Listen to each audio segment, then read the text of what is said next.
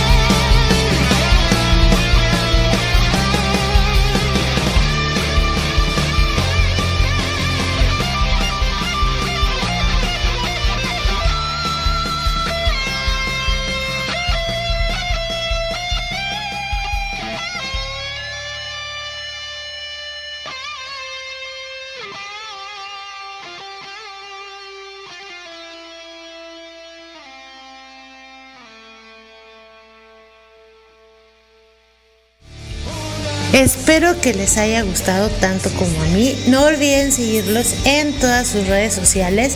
Los encuentran como Project 131. Yo soy Lizeth Marín y nos escuchamos el próximo lunes. Adiós.